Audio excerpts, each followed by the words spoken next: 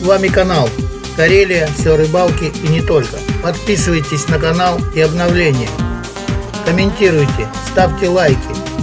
По поводу отдыха пишите на страницу ВКонтакте. Самое интересное впереди. Здравствуйте, друзья, подписчики моего канала Карелия с рыбалки. Не только с вами опять я, Леонид. Вот сегодня собрался пораньше, поеду.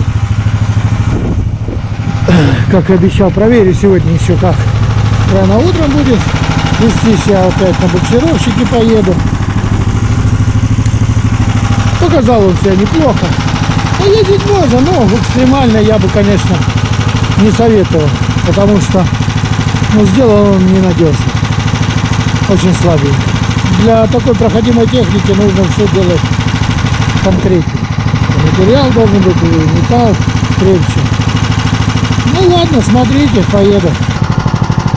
Ну вот, ребята, вот она чудо-техника, видите? Вот сломалась цепь. Вот какая штука. Вот, если видно, порвалась. Все, встал. До дома километра 4. Вот надо идти за цепью. Вот и отрыбать. Ненадежная эта хрень, ребят. Все это фуфло полное. Вот уедете в лес, и там и останетесь. И цепь я с собой не взял. Зря. Ну ладно, надо идти домой.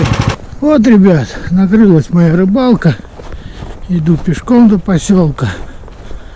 Ну что я вам еще хочу сказать. В том году она вот так вот меня подвела, эта техника. В этом году опять. Вот мое личное мнение. Вы можете меня слушать, можете не слушать. Ребята, если вы решили купить мотобуксировщик, покупайте самое дешевое говно. Потому что вы хоть попадете на обман не таким дорогим способом, я бы так сказал. Койра, практически самые дорогие буксировщики. Практически. И видите, ломаются они так же, как дешевые. То есть все это ерунда. Все их тесты, все их тесты, это вокруг деревни. Вот они выехали, покатались, проехали, сделали видео. Вот он проходимый, да, он идет там, он идет там. Ребят, ну это смешно. Вот я и повелся на это. И советую вам на это не вестись. Вот пусть бы они сделали какой-нибудь поход. 5-6 дней куда-то выехали. Вот это было бы тест. А это покатуха. Забрались в болото. Кто его? Ну, застрял. Ну, вытащили они его чем-то. Смонтировали видео. Вот вам и проходимая техника. Сделан он говно. Задумка, повторюсь, хорошая. И если такую технику сделать достойно, да, она бы, наверное, служила. А это собрано ну, в гараже, я бы так сказал. Так что это мое мнение. Вы можете прислушиваться, можете не прислушиваться. Но по буксировщикам вы меня поняли. Чтобы ехать на буксировщике куда-то далеко, у вас весь багажник должен быть забит запчастями. Запчастями, ключами, приспособлениями. Должна быть электростанция, болгарка, сверло, дрель. То есть от него ждать можно все что угодно. Да, вы увидите, если у вас все это будет. Нет, вам придется, как мне, вот так вот гулять пешком. Так что вот так, не знаю, сейчас иду в поселок. Цепь я, наверное, найду, не знаю. Но мне все равно не сделать. Поеду на машине, буду как-то выковыривать его оттуда. Вот, ребята, смотрите, вот капот крепится. Вот на таком говне. От вибрации он постоянно откручивается. Он, вот. Смотрите, на чем это стоит. Это стоит не на фанерке. Там есть рама, но она грубка. Вот. Я не знаю, у меня слов нету. Натяжитель, смотрите, натяжитель я уже сам сделал, Жигулевский. Здесь стоял вообще порнуха. Вообще там, вот обращайте внимание, пружина здесь, это не пружина, а кусок проволоки. Вот вы посмотрите, как все сделано. И вот смотрите, вот здесь одна стойка. Сейчас они делают две. То, что понимаешь, что это выворачиваешь, что такая идет нагрузка. Ребят, я отдал такие деньги вот за это. А кто мне сделает вторую стойку? А со второй стоит столько же.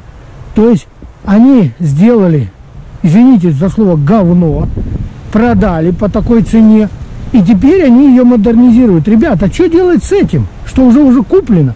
Я вот честно, что с этим делать? Я вообще не понимаю. И еще к этой же раме они теперь лепят передний модуль, там на колесах все. Не слушайте, не слушайте. Все это не опробовано, все это сырец. Просто сырец. Вот что хочу сказать. Ну, сейчас поставлю цепь. Не знаю, попробую, что получится. Так что, у кого есть, везите все с собой. Вот, инструмент должен быть у вас полный.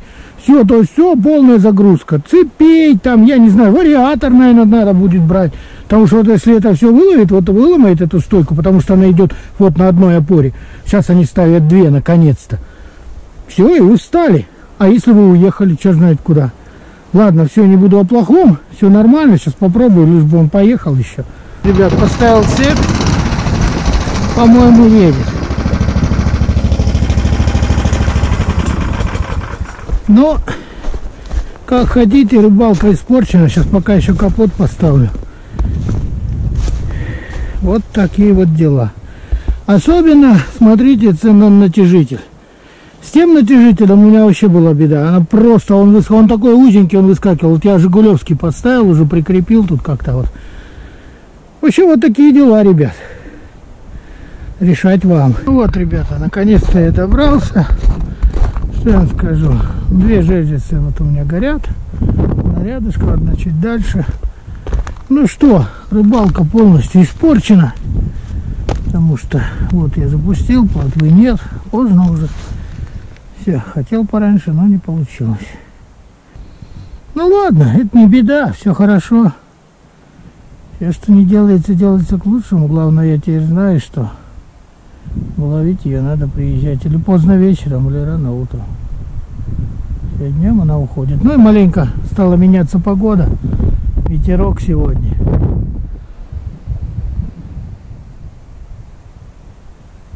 Ладно, пойду проверю, сейчас жарится. И пойду смотреть там, где нашел хорюзов. И там, где окуньки вчера поклевывали. Может, что-то и получится еще. Все, не надо отчаиваться, не все потеряно. Все будет хорошо. Вот первая распущенная, но, ребят, не это распущена, видно, сорвала и бросила. Да, это видно сразу. Смелость, скорее всего, щупачок. Вот она его сорвала. Жевала, разворачивала и бросила. Скорее всего, мелочь. Ладно, перенаживаю сейчас хоть эту плату. Живцов так я и не поймал. Вот, ребят, еще одна. Ну, все то же самое. Сдернула, но даже не пыталась. То есть так и оставила. Да.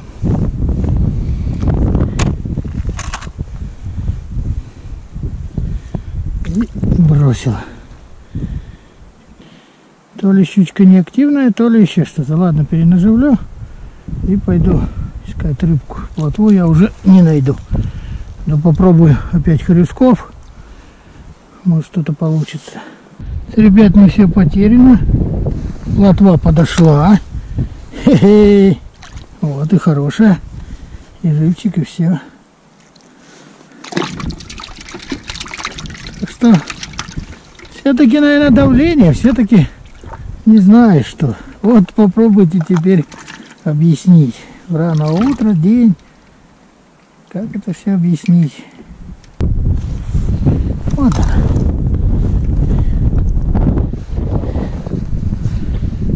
Видите, правда, мешает, но рыбка клюет. Вот собралась все-таки. Время надо. Еще время, время, время. Вода холодная, это не юг. Это север и зима. Вот. Клюет прямо, оп, супер-пупер. Плотва такая неплохая. Даже на консерву. Вы знаете, с плотвы очень хорошие делает консервы. Он ко мне приезжал с Питера. Вы его знаете, Алексей такой. Он попробовал, он даже не угадал, что это с плотвой. Вот как она ловится, отлично. А, какая плотвичка, прям только давай. Ну, Супер-пупер. Может, правильно, что буксировщик сломался? Не, ну я представляю, сколько бы я с утра, наверное, натаскал.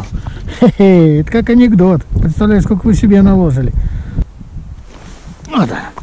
Чуть и тут как тут. Оп. Есть плотвичка. И лючик все есть. Отлично. Ну, прогулялся я сегодня прям. Наверное, пешком полезно ходить. Может, для этого специальная техника сделана? Чтоб не расслаблялись, я бы так сказал. О, какая плод, вот хороша. Красота. О, уже стадо.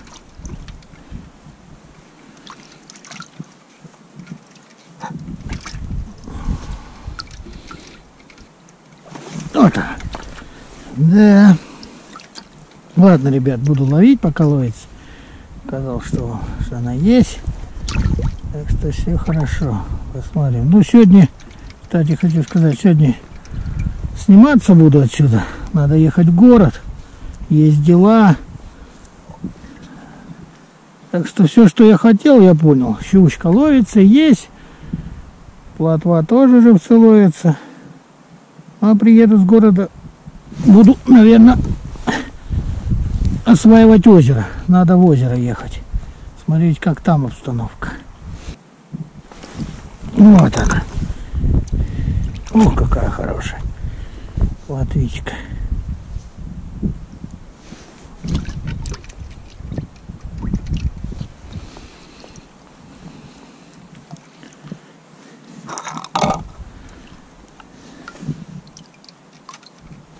Она. А. О, какая красавица.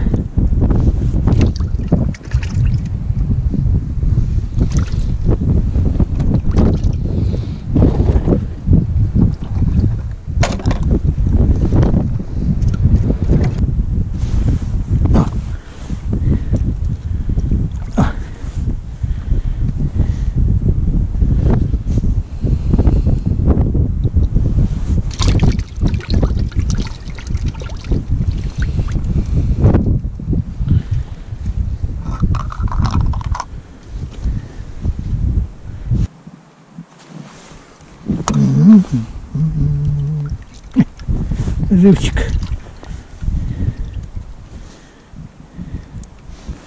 О, уже сколько. Вот так. Вот, ребята, первый хорезочек. Еще один. А, какой красавчик. Крутится. Ребят, вот еще два взял.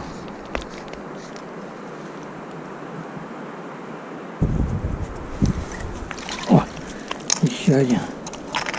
Не крупный хорезок наберется. На рыбничек поймать.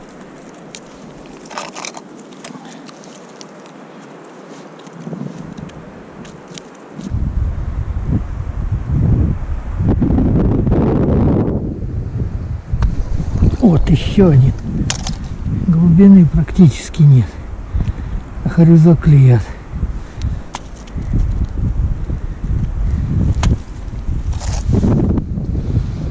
Ребят, сработала жерлица, распущена вся. Меня не было, я не знаю, когда она распустилась. Есть там рыба, нет, вот пустая. Сейчас будем смотреть. Ждать уже не будем. Давай. Пустая. Пустая, пустая.